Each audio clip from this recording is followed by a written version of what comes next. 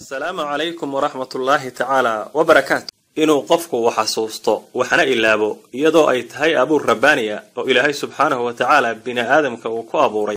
Haddana waxa halkaa ah waxyaabo qofka ka saacidi kara inay xasuustiisu wanaagsanaato iyo sidoo kale waxyaabo keeni kara in xasuusta qofku ay hoos u dhacdo. Haddaba innagoo xagga dambe ku sheegi doona arrinta ugu muhiimsan ee xasuustaada iyo maskaxdaadaba wanaajin karta haddana waxaynu soo qaadanaynaa qodobo ay xeeldheerayaasha caafimaadku sheegeen inay ka qayb qaataan in xasuusta qofku ay wanaagsanaato kuwaasoo kale ah cabbitaanka biyo badan oo jidhkaagu helo iyadoo khabarada caafimaadku sheegtay in maadaama jidhkeennu biyo u badan yahay mar kasta oo jidhkaaga biyuhu ay ku yaraadaan inay hoosna u dhici karto xasuusta maskaxdaadu.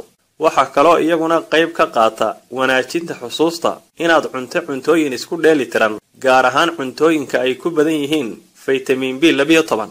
Waxaa kaloo iyaduna ka mid a inaad seexato wakhti kugu filan si maskaxdaadu u nasato. Waxaa kaloo iyaduna xusuusta qayb weyn ka qaadata inuu qofku lugeeyo si joogtaa ugu yaraan maalintii saddex kilomitir iyadoo lugtu ay jidhka u leedahay caafimaad weyn.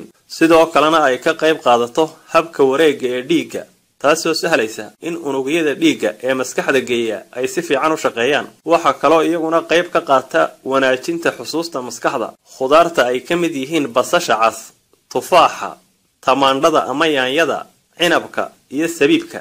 Sidoo kale waxaa iyaduna arrin muhiima u ah xusuusta maskaxda. Dhimista miisaanka jidhka iyadoo mar kasta oo qofka miisaankiisu uu kordho ay sababi karto inay yaraadaan xididada dhiigga ee maskaxda tegaya taasina ay keeni karto dhaawac maskaxda soo gaadha. Waxaa kaloo iyaguna xasuusta maskaxda khatar ku ah balwadaha uu ugu horreeyo cabbitaanka sigaarku iyadoo la xaqiijiyey in sigaarku dhaawac weyn u geysto qaybta xasuusta ee maskaxda haddaba arrinta ugu muhiimsan ee xusuustaada iyo maskaxdaadaba wanaajin karta waa cibaadada ilaahay subxaanahu wa tacaala akhriska qur'aanka kariimka iyo inaad ka dheeraato macaasida noocyadeeda kala duwan. Iyadoo aynu ognahay in raadadka macsida ay ka mid yihiin inay burburiso qofka jidhkiisa maskaxdiisa iyo fahamkiisaba